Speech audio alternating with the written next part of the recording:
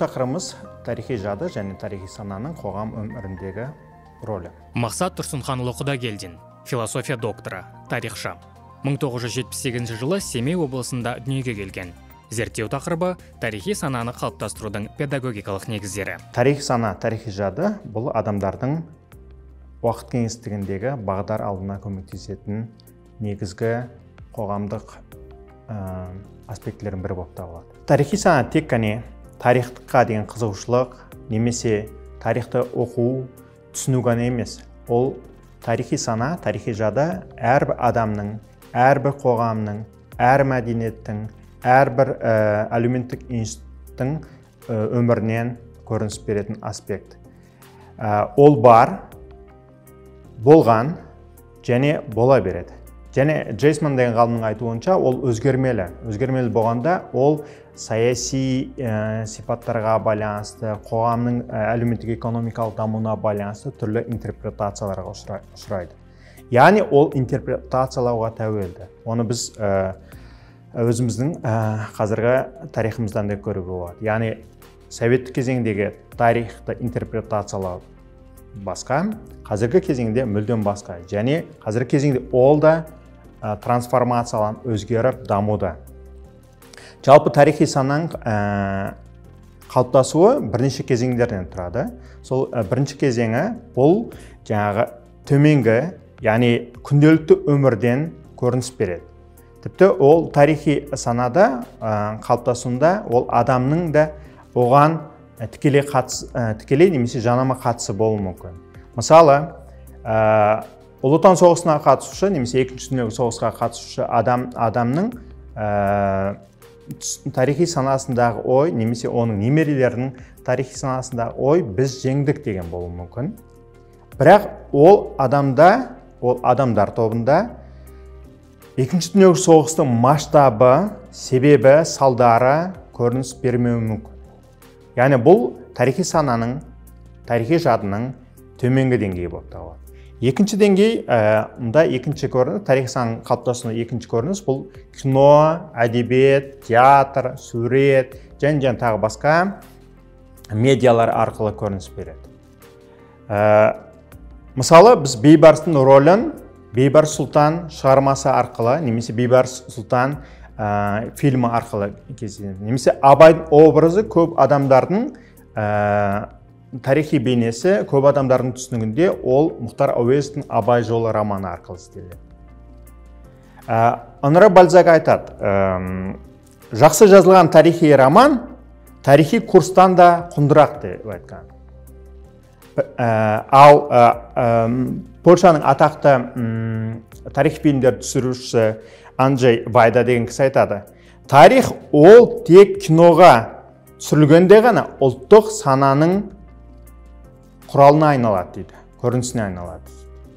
Бірақ мұнда ескере кететін нәрсе бұл тарихи ә, сана, сананың көрінісі субъективті ә, және эмоционалды болады.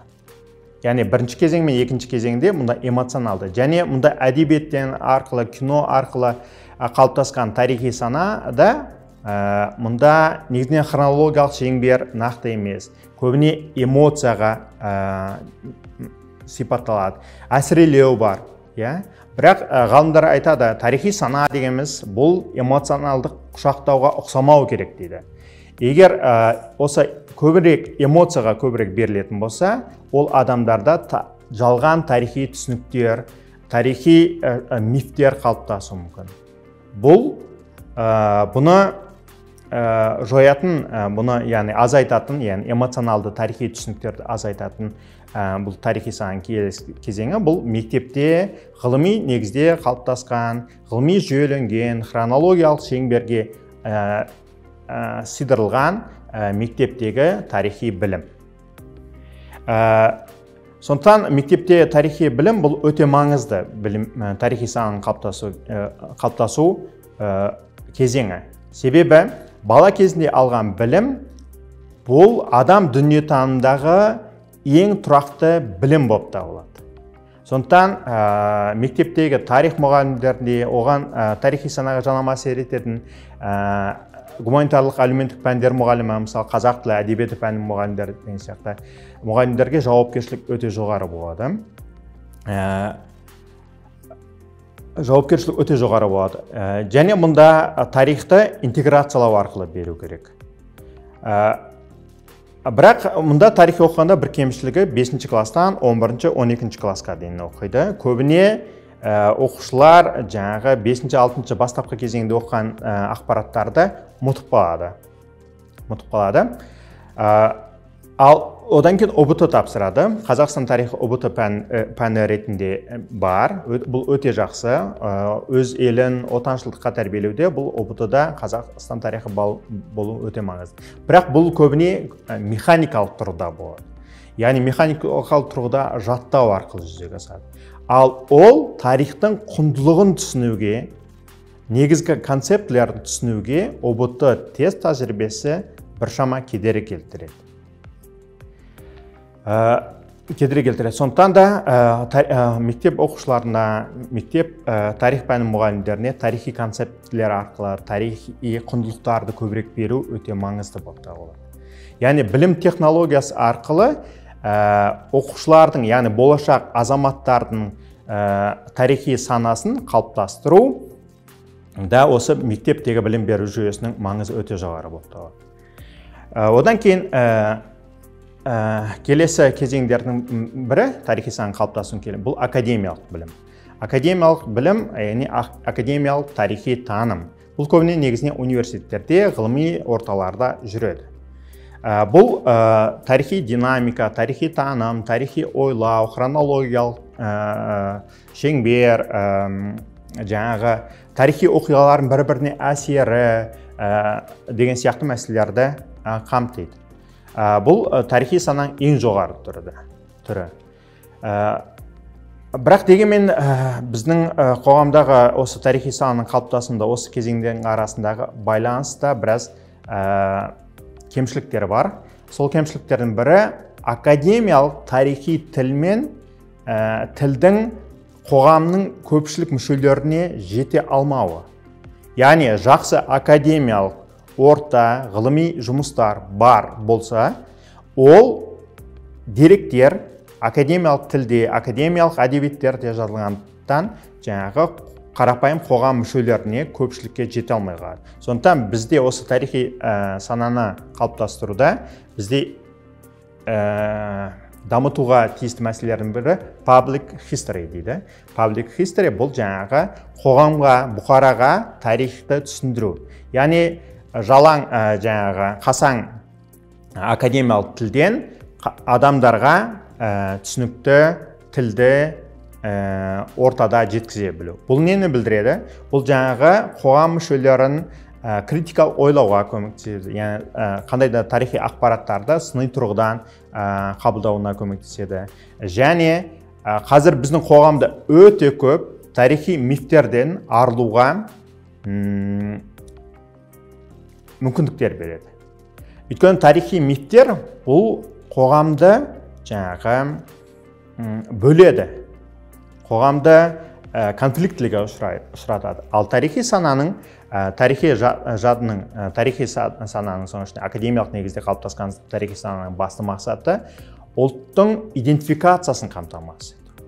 Ұлттың идентификациясын қамтамасыз ету. Және сол қоғамда толерантты және мәдени аралық байланыстарды ә, дамыту.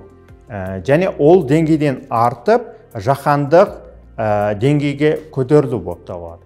Яғни жаһандық деңгейге көтерілу мәселесінде осы тарихты оқыту барысында өзекті мәселелердің бірі тарихты оқытқанда көрші елдермен қарым қатынас мәселесі. Мысалы өткен жолы таймс саммиті болды иә ғой? Яғни онда түркі халықтарының бірлігі мәселесі. Осы түркі халықтарының бірлігі мәселесі қашан қалыптасады? Қашан ә, біздің санамызға әсер етеді? Ол тарихты оқыту тарихты қалыптастыру арқылы істейді. Мысалы егер ә, біз әл фарабиді бируниді хорезмиді немесе ә, жүсіп баласағұниді ә, әр орталық азия халықтары бір біріне тартатын болса мысалы баласағұни қырғыз қырғызстандық немесе әл фараби қазақ алпамыс батыр ол ә, жыры өзбектікі не қазақтікі деп тартатын болсақ бұл бауырлас халықтар арасында бір біріне дейін жатсынуды ә, тудырады. Бұл бауырмалшылықты керісінше ажыратады.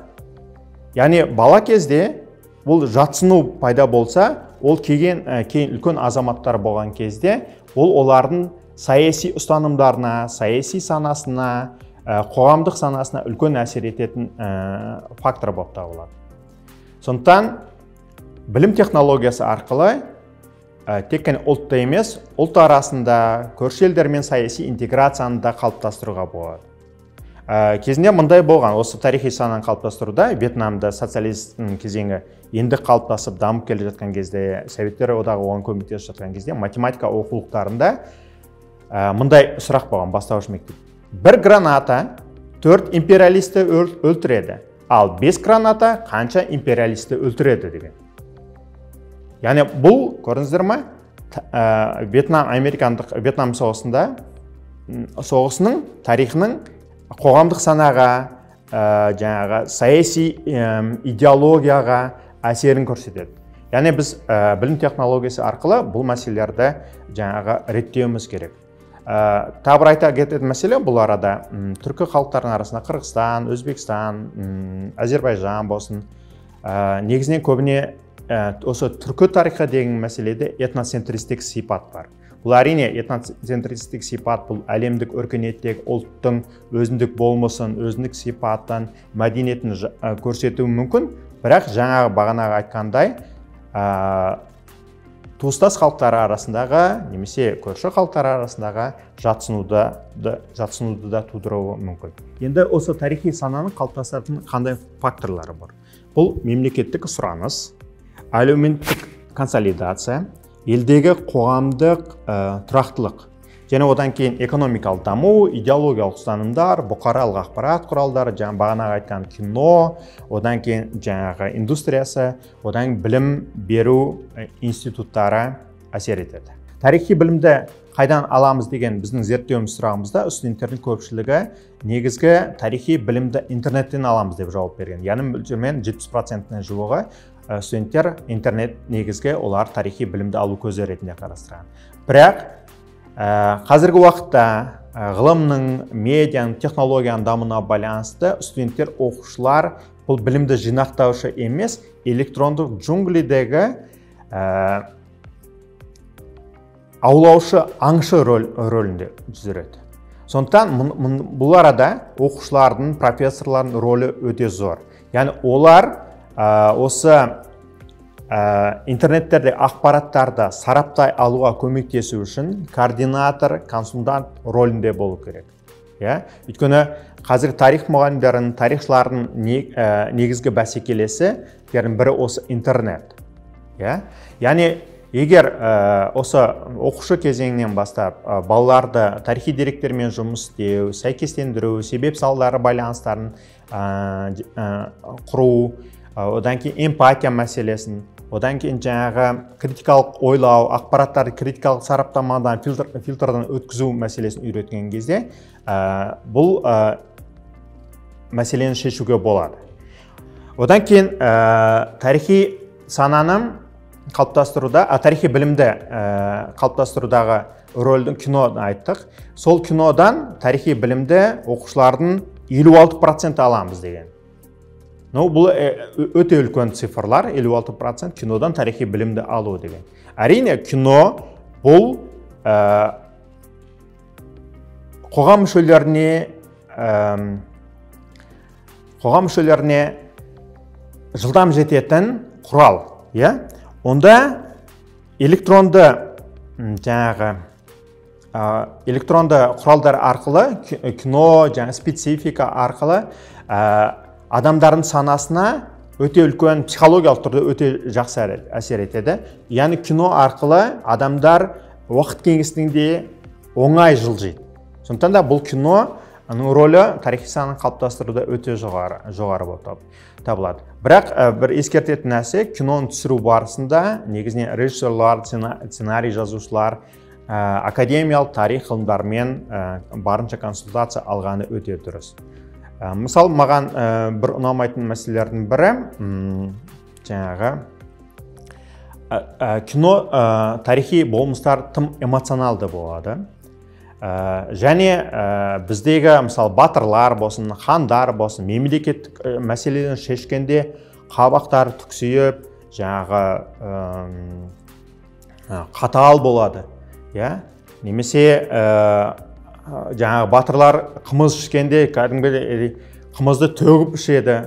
Бұл ә, меніңше бұл жаңағы эстетикалық тұрғыдан аса жақсы емес. Мысалы егер хандар ә, кеңескен кезде ә, тоғызқұмалақ ойнап отырып ә, саяси мәселені шешсе онда ол тарихи киноға интеллектуалдық сипат беретін еді. Ә, так тарихи ә, енді тағы бір зерттеуіміздің мәселелерінің бірінде тарихи оқиға түсінігі ә, сізде алдымен қандай ассоциация тудырады дегенде студенттердің 82 проценті соғыс деп жауап берген. Соғыс. Ә, және ә, кейбіреулері осымен байланысты яғни қандай ассоциация тудырады дегенде бауыржан момышұлы әлия мәншү қабанбай абылай хан сияқты тарихи тұлғаларды айтқан. Ә, бұл тарихи тұлғалар қанша дегенмен де соғыспен байланысты. Яғни бауыржан әлия ата апаларымыз қабанбай бабамыз абылай соғыспен байланысты. Ал тарих деген егер тарихты соғыспен қасіретпен ғана байланыстыру ол тарихты толық түсінбеуге әкеледі. Тарих дегеніміз тек қана қасірет соғыс қана емес. Тарих дегеніміз мәдени байланыстар тілдің болмысы тамақтану ә, киім киіс ә, қандай да бір ырымдар ә, және және тағы басқа аспектілері бар. Ал бұл соғыс пен қасіретпен ғана көру бұл тарихи тарихи түсініктерді ә, таяздатады иә. Ә, жаңа айтқандай ә, тарих дейміз ә, соғыс пен ә, қасірет қана емес. Ә, ә, дегенмен де тарихта адамзат ә, осы ә, соғыс пен қасіретті ә, тарихи процестер барысында қазіргі уақытта құжаттандырады. Иә құжаттандырғанда қалай? Ә, яғни мысалы ә, кейбір елдерде фашистік свастикаға немесе кейбір елдерде коммунистік ә, символикаларға тыйымдар салған иә?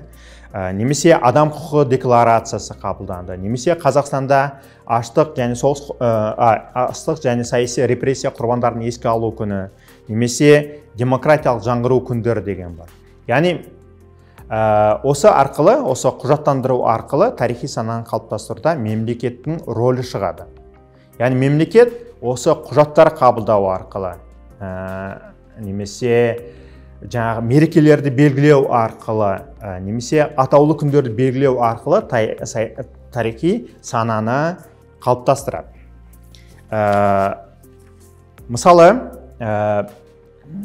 тарихи сананы қалыптастыруда меркенің рөлі қандай деген сұрақ қойған болатынбыз. Зерттеуіміз барысында ол зерттеуде сіздің және сіздің отбасыңыздың жақындарыңыздың ортасында қандай мереке немесе атаулы күн сіз, сіз үшін ерекше дегенде ә, жаңа зерттелушілердің жүз проценті наурыз мерекесін атап өткен.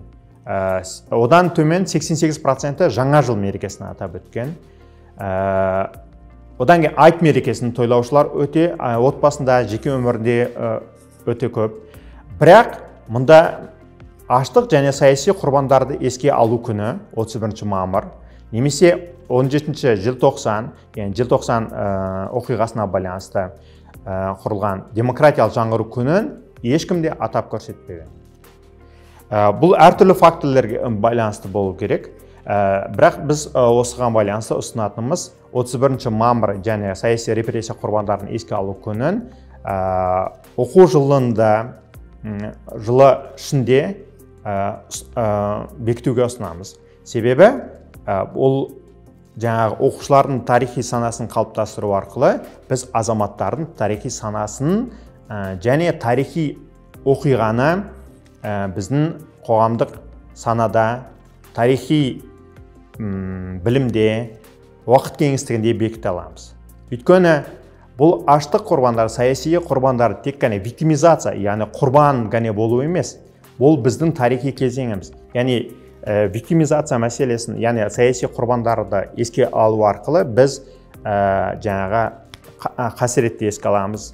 Ә, саяси құрбандарды еске аламыз. Және қандай біздің болашақта бүгінде болашақта қандай саяси қадамдарға бармау керек? Ксенофобия тоталитаризм антидемократиялық ұстанымдар болмау керек. Және ол қоғамға қоғам дамуына қаншалықты жүздеген жылдар бойы әсер ететінін көрсетеміз.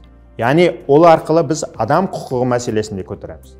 Мерекелердің ішінде немесе атаулы күндердің арасында студенттер арасында атап өтілмеген даталардың бірі бұл алғыс айту күні. Яғни бірінші наурызда бекітілген алғыс айту күні.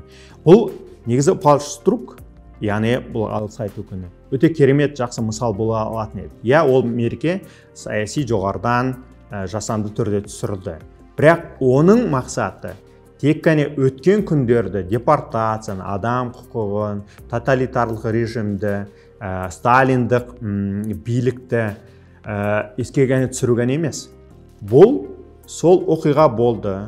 Және ол қоғамның дамуында толерантты болу мәселесі адам құқықтарын сақтау мәселесі яғни біз қазақстан қазақстандықтардың дамуындағы рөлі мәселесін көтер, көтере алатын едік.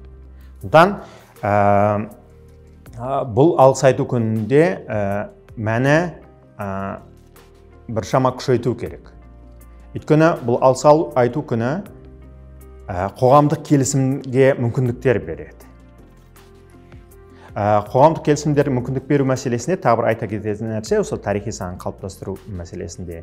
Бізде тарихи білімді беру кезінде ә, мұндай штрих бар яғни русификация орыстандыру деген мәселесі. Яғни бұл әрине орыстандыру ә, мәселесі ғылыми тұрғыдан негізделген және бұл ғылыми тұрғыда тіркелген термин болып табылады. Ә, бірақ бізде қазақстан тарихын оқыту барысында орыстандыру мәселесінде біз тек қана қазақтардың орыстану мәселесін айтамыз. Яғни мысалы егер сіз ә, түрлі ұлттар отырған аудиторияға кірсеңіз онда тек қана қазақтардың ғана орыстану мәселесін орысша немесе қазақша айтсаңыз баяндайсыз иә ғой? Бірақ ол арасында олардың арасында поляк ұлтының баласы немесе кәріс ә, баласы болуы мүмкін. Яғни кәріс ұлттың фамилиясы кореял аты әкесінің аты орысша. Яғни діні негізінен ол православиялық болуы мүмкін иә? Ал бізге олар депортацияланып келген кезде олардың діндері де мүлдем бөлек аты жөндері де мүлдем бөлек болады. Яғни русификация мәселесі тек қана қазақтарды емес. Поляк украин кореец және және тағы басқа да ә, халықтарды ә, ә, қамтыды.